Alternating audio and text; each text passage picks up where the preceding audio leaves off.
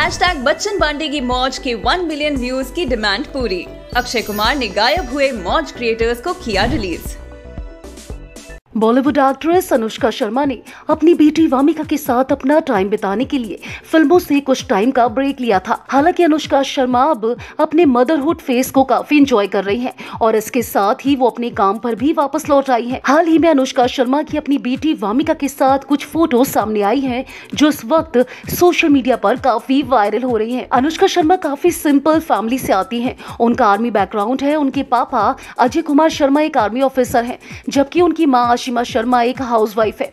Anushka Sharma actress बनने से पहले एक मॉडल थी।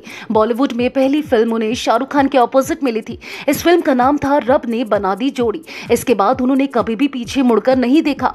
साल 2017 में क्रिकेटर विराट कोहली के साथ शादी रचाने के बाद अनुष्का शर्मा सफलता की सीढ़ियाँ लगातार चढ़ती गई। साल 2021 में अनुष्का शर्मा और विराट कोहली ने अपनी लाइफ में अपनी बेटी का वेलकम किया। अनुष्का और विराट अपनी बेटी को लाइमलाइट से दूर रखते हैं, यही वजह है कि लाखों फैंस उनकी बेटी की झलक देखने के लिए बेताब नज़र आते हैं।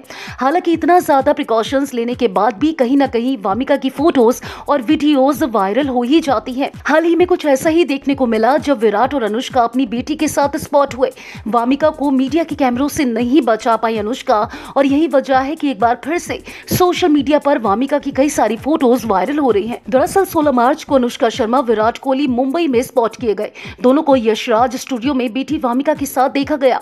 इस दौरान बैंड बाजा बारात की एक्ट्रेस ने अपनी बच्ची वामिका को गोद में ले रखा था। पेप्स ने उन्हें अपने कैमरे में कैद कर लिया।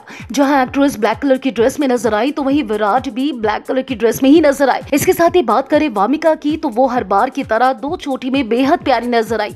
वामिका की फ़ोटोज़ इस वक्त सोशल मीडिया पर हो रही है वायरल, और हमेशा की तरह वामिका की हर तरफ़ हो रही है काफ़ी तारीफें।